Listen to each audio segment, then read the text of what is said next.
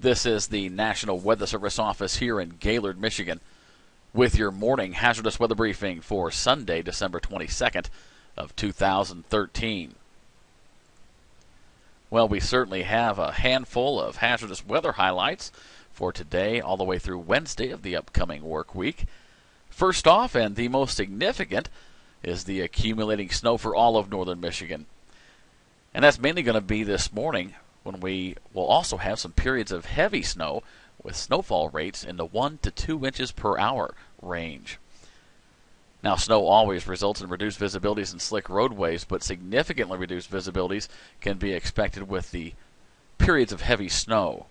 Now, also, through midday today, we have gale force winds, and that's going to be for portions of Lake Huron, generally Presque Isle southward, resulting in hazardous marine conditions. And we are looking at additional snows and accumulating snows for mainly eastern upper and northwest lower Michigan. Now, especially Tuesday night into Christmas morning, but also again for Thursday and Thursday night, resulting in more slick and hazardous travel. And we still have the threat for ice jams until further notice for all of northern Michigan's rivers and streams.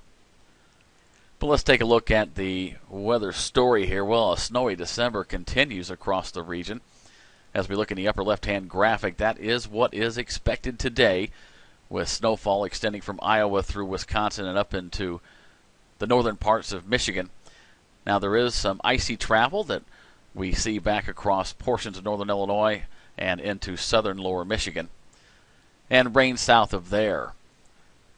And looking at the upper right hand graphic, that's the snowfall expectations that are uh, through mainly today just two to four inches across the majority of eastern upper Michigan, with the main axis of heavier snowfall really draped across uh, northern lower, with generally speaking four to eight inches, and there could be some locally higher amounts due to those periods of heavy snow.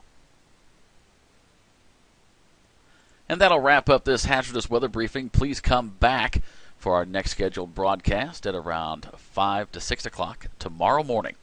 Thank you for listening to your National Weather Service here in Gaylord, Michigan.